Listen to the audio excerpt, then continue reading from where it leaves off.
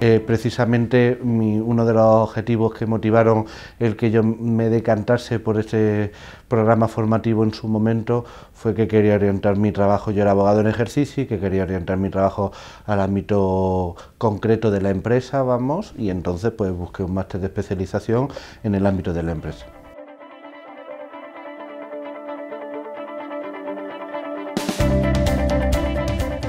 Caso concreto, cuando yo acabé el máster, entré primero en Garrigues,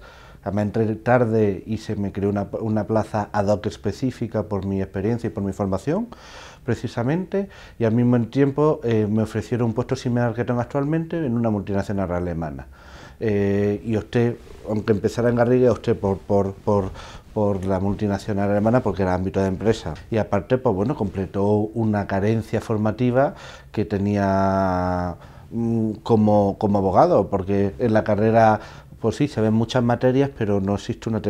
una temática especializada en derecho de empresa con, con, con el día a día de la empresa, con las peculiaridades que presenta la empresa y con los problemas que presenta la empresa. Y esto, pues bueno, nos permitió, en mi caso concreto, y entiendo que al resto de mis compañeros exactamente igual, pues tener un conocimiento más profundo de las necesidades jurídicas de la empresa, la idiosincrasia de las empresas, las problemáticas de la empresa y la forma de resolver o de, eh, si no tanto resolver, porque cada caso es concreto, de afrontar esa problemática que se pueden producir dentro, dentro de la empresa.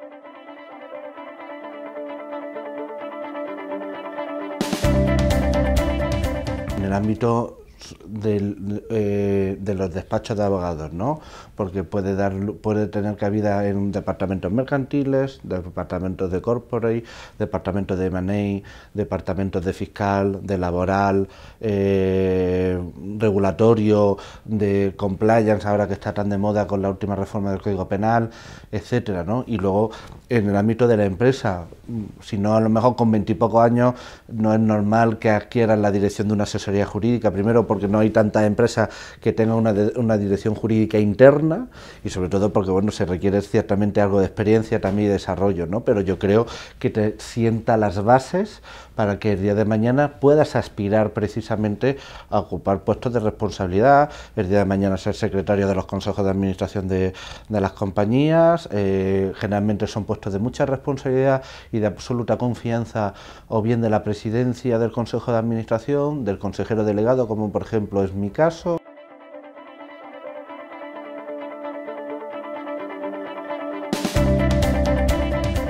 grandes errores que yo creo que se produce hoy por hoy en la consideración de los abogados de empresa es que solo se nos ven como abogados, ¿vale?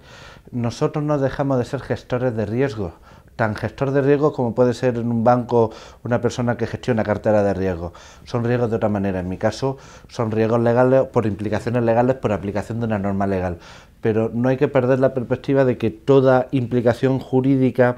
tiene un reflejo económico o un coste financiero. Entonces, nosotros lo que tratamos es o bien de asegurar esa inversión, de evitar una contingencia que luego tendrá un reflejo financiero, de evitar una fuga de capitales o de tener que desembolsar dinero que no está previsto desembolsar o que puedes destinar a otras muchísimas cosas dentro de la compañía. Por lo tanto, yo creo que son, está íntimamente ligado.